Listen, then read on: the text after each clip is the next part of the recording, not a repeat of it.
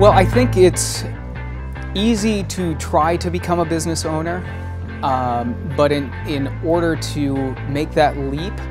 um, it, it, there's a lot of detail to make it happen. And that's why it's important to either learn from mentors uh, or learn from mistakes, as, I, as I've heard said on Thrive. Uh, I wouldn't be where I am right now,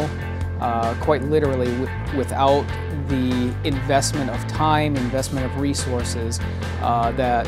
the uh, Thrive team and the uh, mentors have been willing to put into this project, into this company. You know, the big thing uh, in terms of the challenges that I've uh, run into is simply um,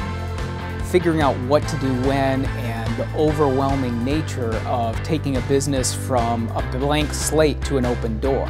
uh, in terms of an idea. And that's where uh, Thrive has really come in and helped out quite a lot for me uh, because uh, with Thrive, it's helped break down all of that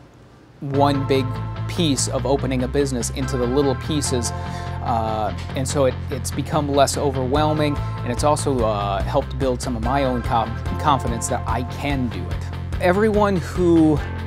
wants to do something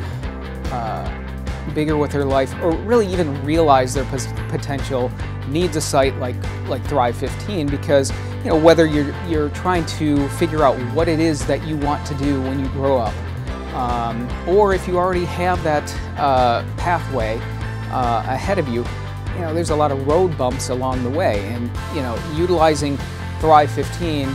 I've been able to identify before I get to those road bumps where they may be in front of me so that hopefully as I move my business forward, I'll avoid some of the pitfalls that I would otherwise likely hit uh, without it.